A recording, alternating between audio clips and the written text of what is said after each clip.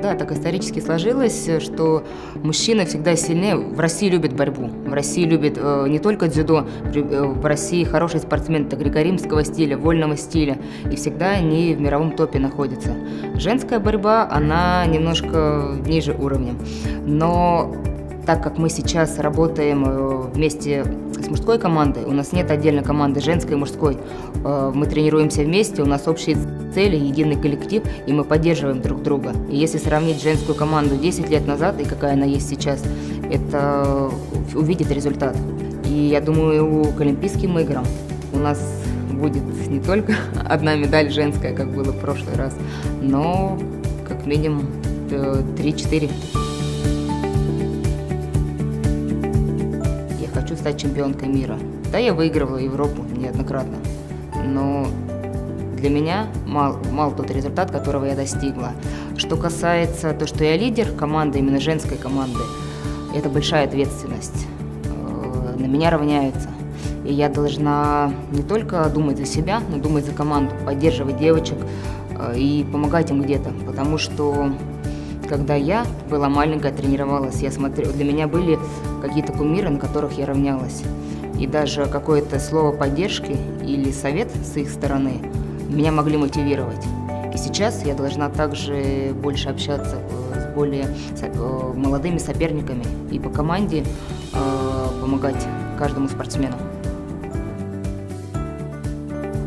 Смотря как борется Дарья, наблюдая ее прогресс – в схватках, не только вчера. Вчера э, я смотрела и получала удовольствие от ее борьбы, она выигрывала.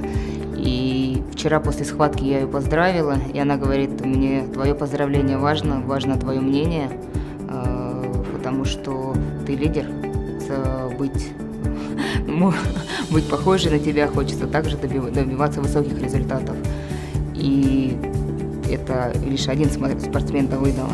Э, у нас каждая девочка вчера могла быть с медалью. И многим не хватает иногда чуть-чуть. И когда вот они, когда Выдова преодолела порог какой-то, она и не везло, не везло, и там чуть-чуть не хватало.